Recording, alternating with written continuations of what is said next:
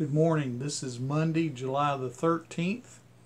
And yesterday, uh, during our Sunday school hour, we started uh, sharing some thoughts as we read and discuss and pray through the book Fresh Wind, Fresh Fire by Jim Cymbala.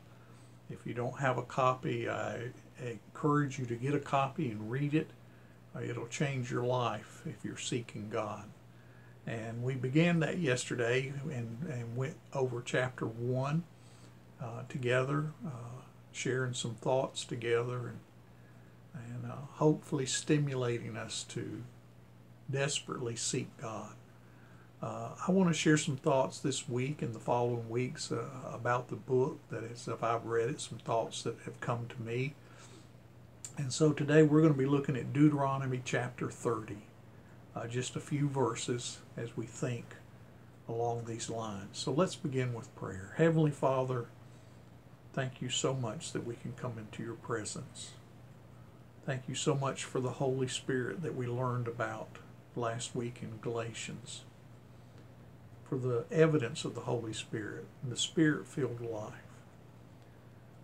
May we seek you today humbly, repentantly, praying and desiring to know our great God. May we seek you because of who you are, not because of what you'll do for us, just because of who you are. I pray that you'd bless this time today and stir our hearts to you. In Jesus' name, amen. I want us to think about let Yahweh bless. Yahweh wants to bless us. He wants to share his grace with us. But a lot of times we won't allow him to. So I, I want us to think along that line. Let Yahweh bless. And it's in Deuteronomy chapter 30. We're going to read verses 15 through 20 is all we're going to read today. But I hope that it will stir your heart and cause you to think about your relationship with Jesus. Are you saved or not? And if you say you are, then your fellowship with him. Are you living in the Spirit or not? Uh, and these are things we have to ask ourselves as individuals, as families, as churches. The decision of decisions in verse 15. Well, let me give you some background. I'm sorry.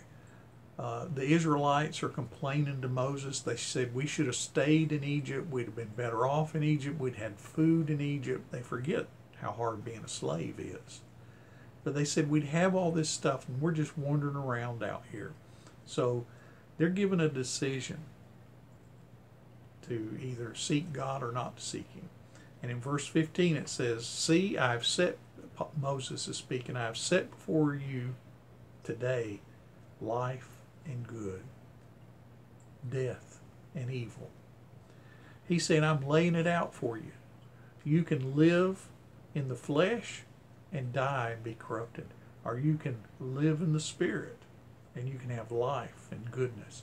You choose. You can follow me or you can go your own way. so we have a decision to make. The Israelites had a decision to make. And we today, in the sound of my voice, reading this passage, have a decision to make. Verse 16 uh, there's the blessings of righteousness. It says, For if you obey the commandments of the Lord your God that I commanded you today, he if you'll do what God says to do, if you live like God says to live, he says, by loving the Lord your God, he says, obey him and love him, walking in his ways, living the way God wants you to. And by keeping his commandments and his statutes and his rules, then you shall live and multiply. And the Lord your God will bless you in the land you are entering to take possession of.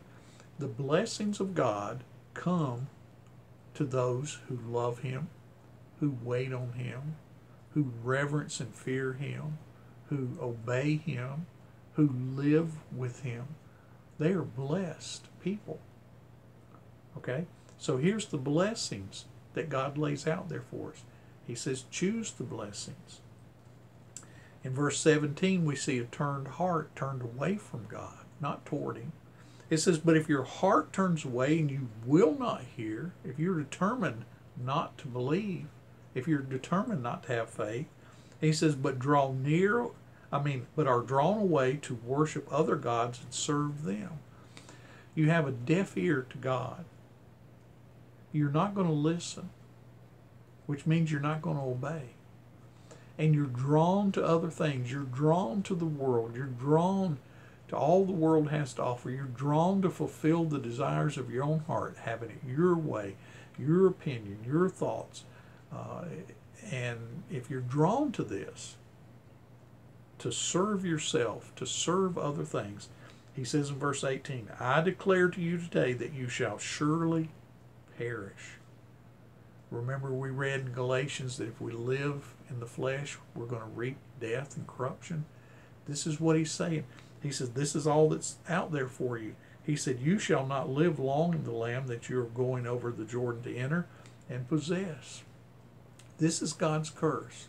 His blessings, if you love Him and if you uh, wait on Him and you fear Him and you obey Him, and the curse of perishing and death and evil if you don't. Decision time. Verse 19. He says, I call heaven and earth to witness against you. A witness is someone who stands up and testifies on behalf. They're eyewitnesses to what happened. They they know what happened because they were there.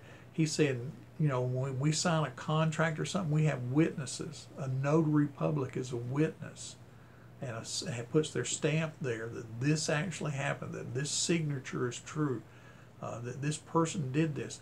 And so we have witnesses to the things we do legally.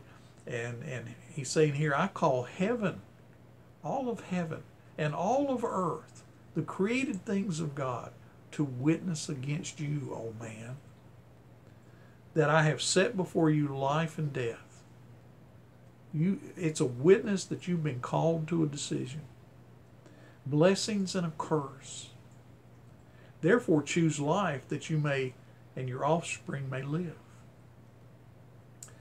Verse 20 says, Loving the Lord your God, obeying his voice, and holding fast to him, for he is your life and length of days. There's no life outside of Jesus. Jesus said, I am the way, the truth, and the life. No man comes to the Father but by me. God created us and gave us life. It's because of him and his grace that we draw every breath that we have. Uh, length of days, and that you dwell in the land that the Lord swore to your fathers to give to Abraham, Isaac, Jacob, and to give them. Now, I know that this is Old Testament, and I know he's taught Moses is talking to him about God's promises to them to go into the land that God gave to Abraham and become a mighty nation. But I think we see principles here. The principle is that God's blessings only would come from him because see he doesn't change. God doesn't change. He operates the same. He still rolls the way he used, used to. And his blessings only come to those who love him who fear him who wait on him who obey him who walk in his ways who live with him God doesn't bless sin. God, God doesn't bless rebellion. God doesn't bless evil.